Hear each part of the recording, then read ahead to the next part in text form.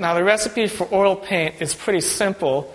In essence, it's a pigment, which is usually some form of mineral, uh, ground up very finely and uh, mixed with oil very, very thoroughly so that every particle of pigment is coated around with this oil which suspends it. And uh, you spread it on with a brush.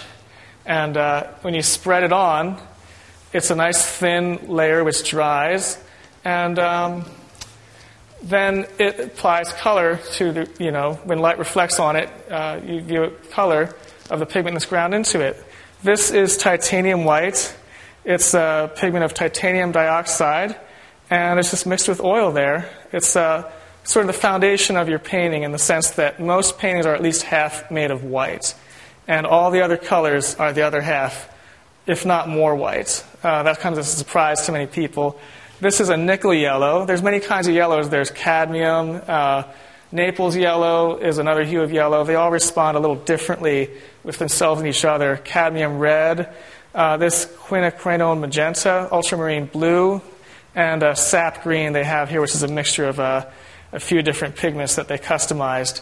So uh, that's the basic uh, function of oil paint pigments and oil.